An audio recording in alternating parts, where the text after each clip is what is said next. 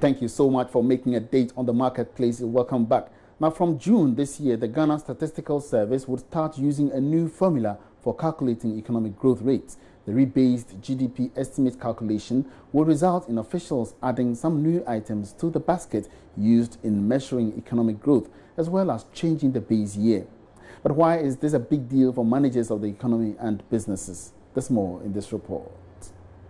The Statistical Service is finally going ahead with this new way of measuring GDP estimates after using almost a year to collect the additional data and carrying out the necessary test runs and even engaging industry players. The action, according to analysts, could result in the economy expanding and give us the true picture of the size of the economy, looking at development over the past years. Acting government statistician Baah Wadieh, however, insists it's too early to assume that there would be some significant significant increase in the size of the economy as a result of this exercise. Obviously, in the past, all rebasing have resulted in some expansion in the economy because unobserved sectors or sectors that were not included in previous rebasing are brought into the estimation of the economy. Mm. But let's wait and complete this rebasing process and we can give you the exact outlook for the country.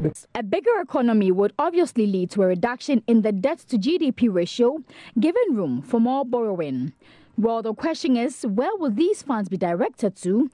And would we not get into this bracket in five years' time? However, on the other hand, the country has one of the lowest rates when it comes to our tax to GDP ratio. So, rebasing the economy could put pressure on government to increase the tax rates or expand the net to accommodate more persons that are not being captured. This is because there could be pressure on government to deal with this challenged post rebase economy. Now, the First Atlantic Bank has advanced moves to attract new investors in rights issue as a strategy to help meet the new capital requirement before the deadline set by the Bank of Ghana. It hopes to achieve this target by June this year.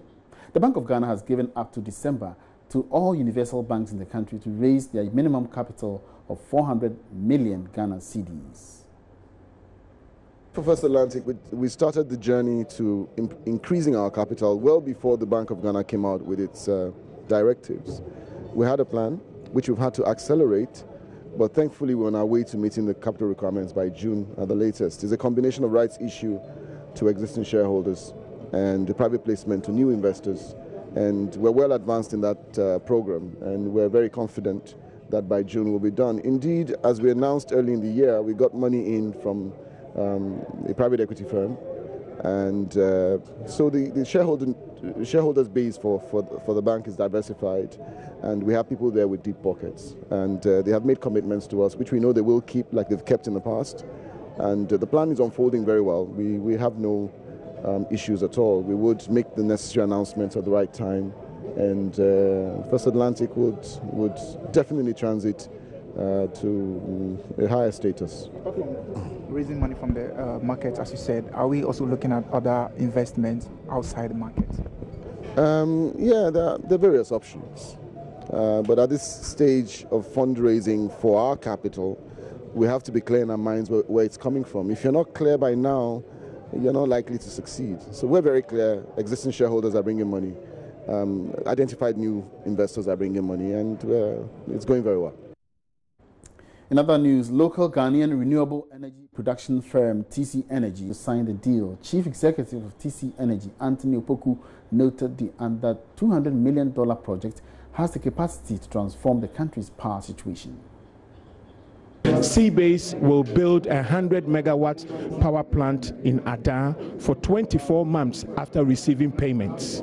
Our aim here is to ensure that as soon as Seabased gets everything settled, they should hand over the plan to us in 24 months. They are here basically to organize with the local contractors that they will be working with. Obviously, they can't build this without the locals too.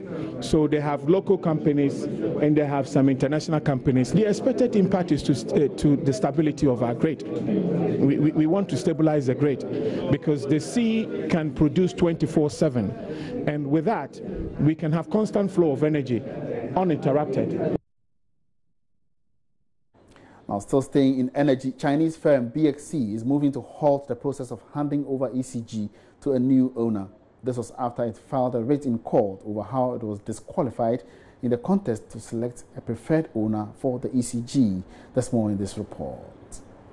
According to the rates filed by BXC and cited by Joy Business, BXC Ghana, Beijing Xiansheng Technology Company based in China, and Shanxi Regional Electric Power Group are the complainants, while MIDA has been cited as a defendant. BXC in the rate is seeking a permanent injunction on the processes to settle on the final winner on bid contest and restraining MIDA from going ahead with any form of negotiations. The company is also seeking a cedi equivalent of $4 million as compensation compensation from MIDA as cost of preparing the documents for the ECG bid contest as well as general damages for what it describes as unlawful disqualification from the bid process. MIDA in a statement recently announced that it has been served with a writ and assured it will continue to uphold high standards of integrity in the transaction process. It is unclear for now when the case will be heard in court and possible implications on the privatization of ECG. Looking at the tight schedule Ghana has in assessing U.S. compact funds to help restructure the energy sector.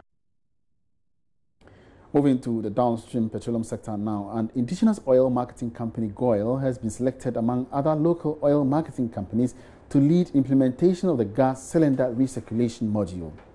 To this end, GOIL has been mandated to build three gas filling plants in various parts of the country and also cater for the distribution of LPG across the country. CEO of the company, Patrick Akorli, stated this in an interview at GOIL's 49th annual general meeting in Accra yesterday. Ebenezer Sabute's report is read to you. President Akufo-Addo in October last year directed that the new cylinder recirculation module for LPG distribution be implemented to reduce the risk of accidents at the various gas filling stations in the country. This means LPG bottling plants will be sited away from congested commercial and populated areas. As part of government's mandates, the local oil marketing company, GOIL, will procure, brand, maintain, and fill empty cylinders for more distribution to consumers and households through retail outlets. Managing Director of GOIL, Patrick Akorli, has been explaining in an interview with Joy Business. Companies will be in charge of the distribution of what? The LPG bottles. You go, to, we, we will have a filling plant at Tema.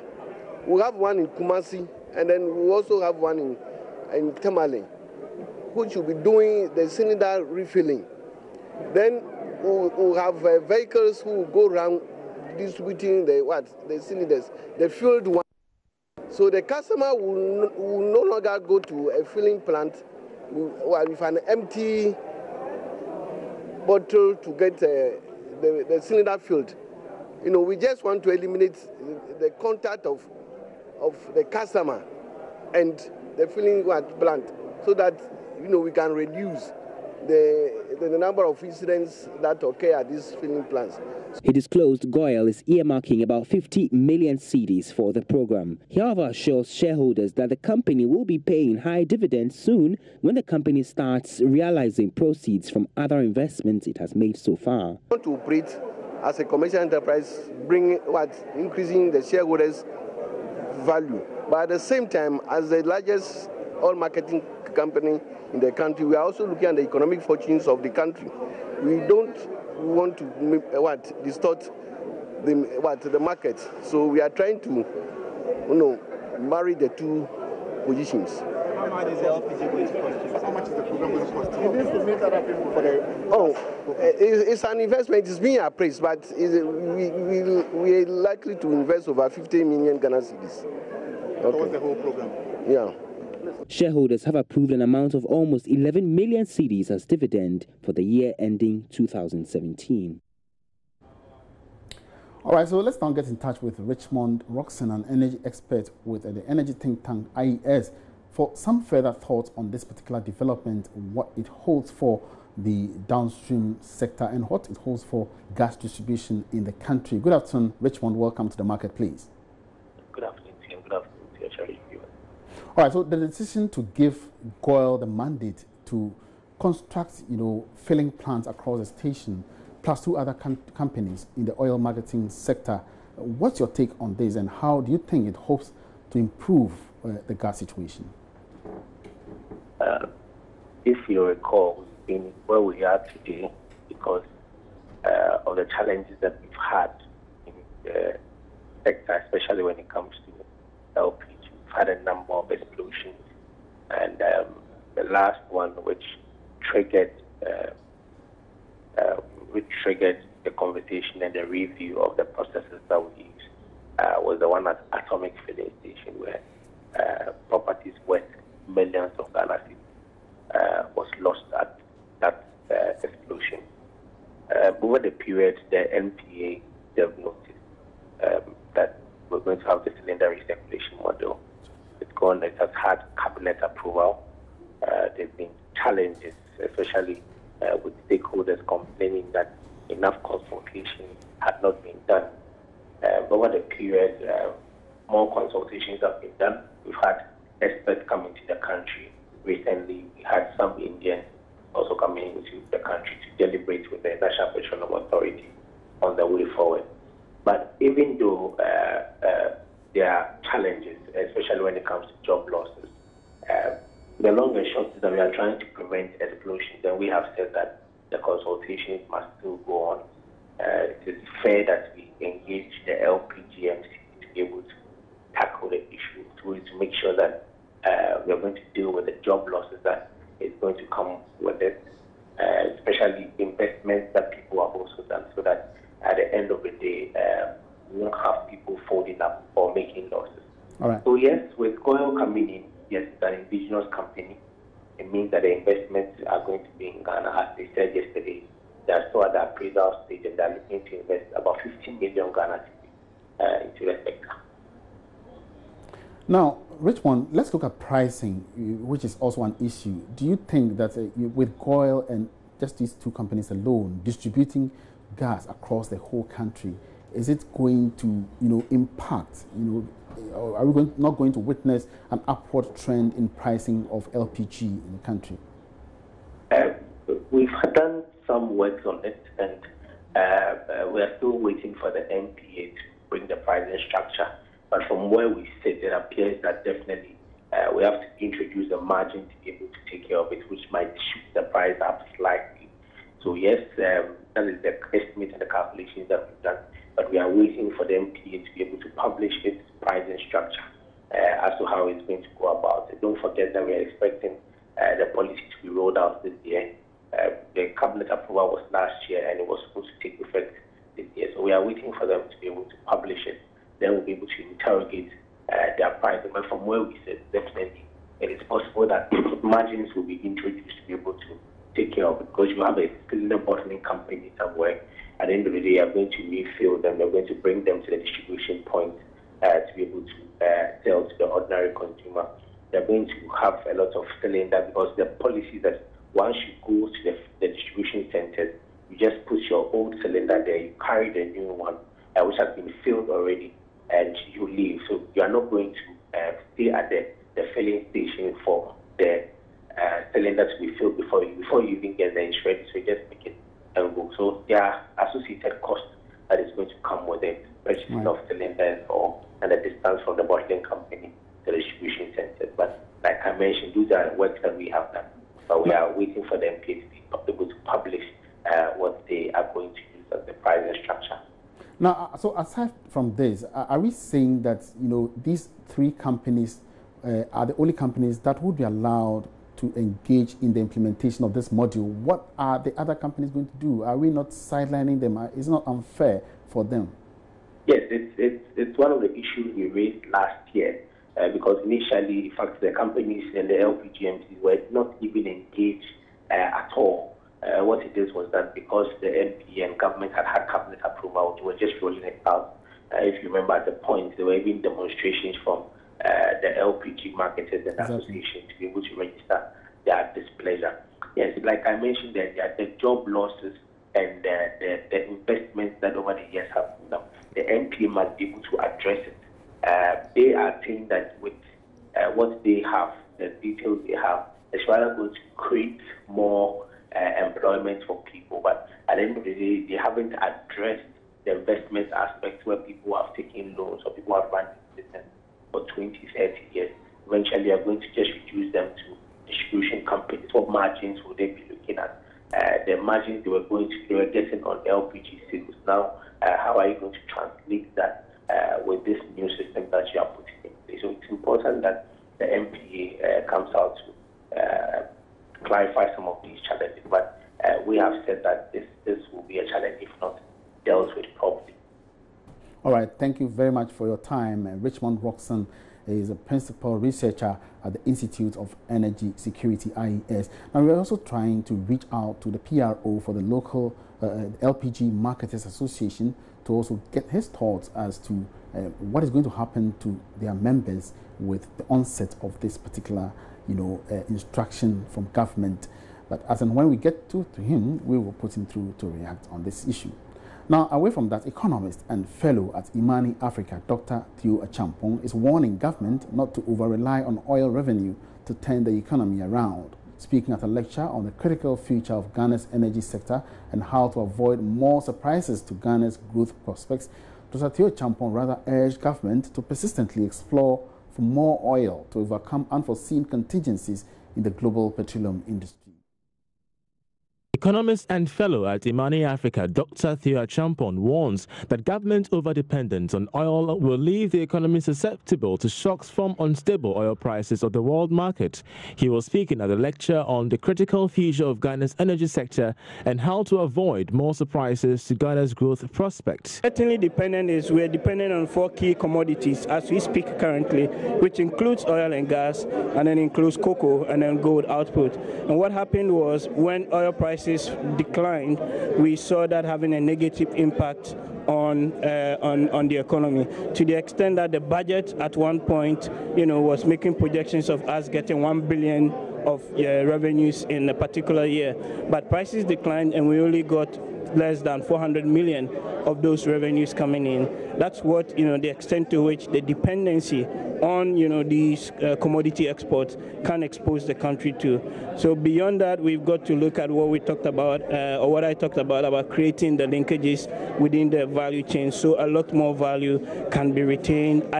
On his part, Chief Executive of the Africa Center for Energy Policy, ACEP, Ben Boakye, called for a relook into all petroleum model agreements of new environmental management plan and licensing laws. He believes a renewal of these laws will not just help make the oil and gas sector competitive, but also attractive to investors. You have to start from somewhere, build that capacity and competency over time, so that you're not exposing Ghanaians to that kind of risk. And that's the point I'm making. So you have to think through that process and see what is feasible in this particular time. The point about you know the contracting uh, model that we need to, to, to, to, use, I had that discussion extensively already. Uh, we had exhausted that discussion about two years ago, but we didn't want to jump in until our name was mentioned somewhere. The lecture was organized by Imani Africa with the aim of exploring ready solutions to Ghana's oil and gas value chain. was by Charles It. Now, there are currently about 14 private insurance companies competing for a market space of about 300,000 clients. In order to outcompete their peers, some firms undercut premiums. That's considered a major challenge in the private health insurance industry. Chief Executive of Acacia Health Insurance, Dr. Dan Amo, has been telling us more in this repeat edition of the Joy Business Van.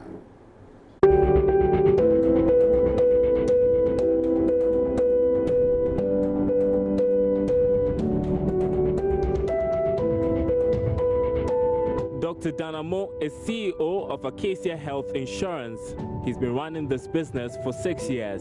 And my first time that I was exposed to health insurance was 2009. I was um, working in a hospital, and then the owners of the hospital looked at ways that we could hold on to our own clients. The private health insurance industry was pretty young then. The National Health Insurance Scheme was supposed to cater for the health needs of the less privileged and private firms, mainly for corporate clients. Cosmopolitan Health Insurance Limited is one of the about 14 private health insurance firms operating in the country. Elton Afari is marketing director for the firm. The National Health Insurance Act um, gave the chance for us to be able to have the National Health Insurance Scheme, the private commercial, the private mutual, and the district mutual. Um, the premise of the, the act or the law saw the need for us to have these for uh, various schemes, such a way that at every point in time one can associate himself or herself to a particular. Generally, the number of people signed onto an insurance policy in Ghana is low. Current figures put the rate of penetration at 2%. Stories same for the health sector. Perhaps most people consider it expensive. But if you pay and you are not well, immediately you go to the hospital, you just get the, the health care you need and you go back home. So there's, there's, there's, there's an important or there's a serious need for each one of us to be able to be insured. Because when you're, if you're not where you go, the least you pay within is about 180, 200 if it's about, let's say, malaria. And maybe you don't have that money there. But if you have insurance and you've already paid your premiums, you just go and you just go back home.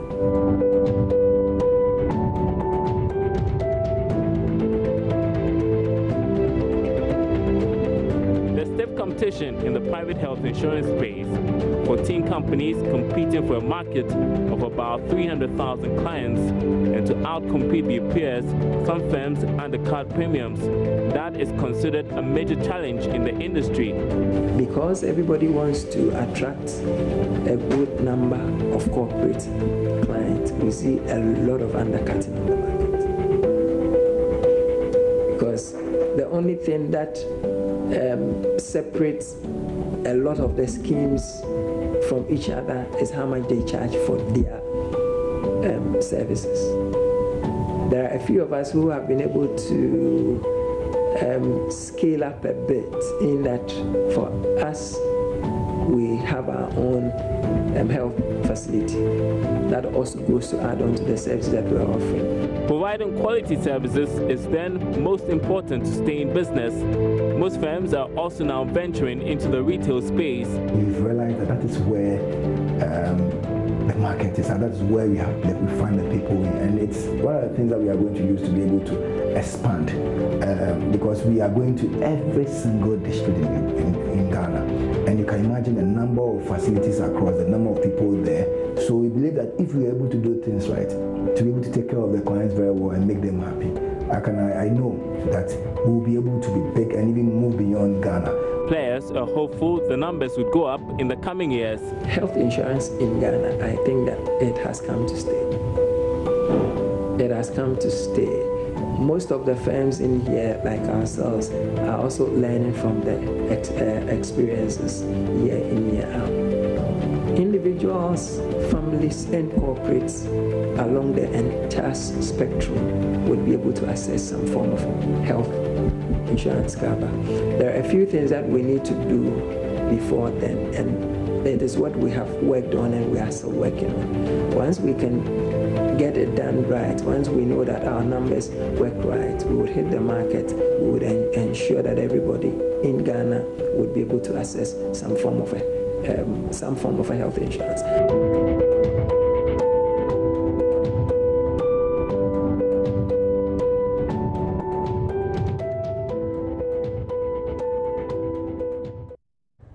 So you can catch the Joy Business Van every Wednesday on Business Live with a repeat on Thursdays on the Marketplace. And on that note, we wrap up this afternoon's edition of the Marketplace. It's been great having you on board. Join us again same time tomorrow for another edition. My name is Emmanuel Apwaji. Have a good afternoon.